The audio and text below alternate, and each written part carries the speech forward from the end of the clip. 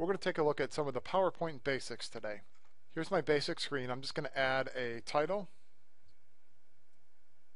The subtitle is just going to be my name. Now I need to add a new slide. If I look to the far left side, I click Home. I can choose New Slide. Next, I need to add an image. There's one or two ways to do that. Right in the middle of your page, you can have six icons. If we hover over them, each one will tell you what that icon represents. If I choose Pictures, it's going to pull from my computer. If I choose Online Pictures, it's going to choose from my online collection. I'm going to choose my computer, locate the picture I want to share, insert. Once I've inserted the image, you'll notice that my ribbon across the top has some new options. I could choose a frame, all types of picture effects. You can even crop it from here.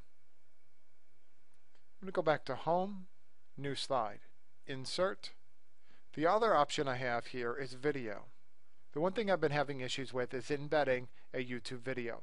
So for the time being, we're going to do something a little old school. We're just going to directly link to it. I need some text to link the video with. I could also use an image if I wanted to. Now I need to go to YouTube and find the video. I found my video that I need to link to. I copy the link at the very top, the address, back to my PowerPoint, highlight the text. Up near the top, I can choose hyperlink. Down here in address, I want to paste the address I've just copied. Click OK.